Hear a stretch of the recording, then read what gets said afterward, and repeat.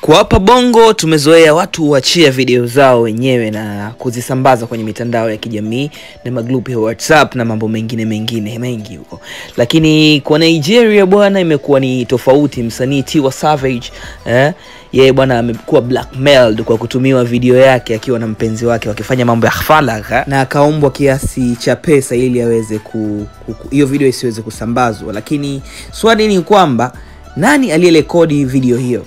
Eh, mpaka sasa hivi tunauliza swali ni kwamba nani amerekodi video hiyo na pia uh, nani ambaye anaweza kumfanyia Tio Savage kitu kama hicho, lakini yeye anahisi ni mtu ambaye yuko ndani ya timu yake. Mimi na wewe hatuelewi chochote, tutaendelea kulifuatilia hili jambo. Hebu msikilize Tio Savage, alafu dondosha comment yako, utuambie nini unahisi kinaweza kumsaidia Tio Savage.